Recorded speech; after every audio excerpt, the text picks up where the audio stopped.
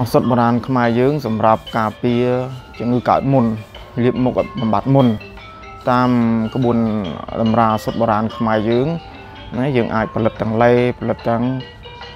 ម្សៅសម្រាប់លាបមុខលក្ខណៈធម្មជាតិដោយយើងប្រើទឹកអង្ករដោយចិត្តល្មៀតឲ្យស្ដើងស្ដើងយកមកបុកជាមួយនឹងទឹកអង្ករដែលខាប់ហើយយកទៅហាលថ្ងៃ ឲ្យស្ងួតបន្ទាប់ពីយកទៅហាលថ្ងៃស្ងួតហើយយើងចម្បាច់ក្រូចឆ្មាក៏បានក្រូចសោតក៏បានហើយយើងយកទៅសាឡាបលាបមុខប្រកាយស័ក្តិសិទ្ធិណា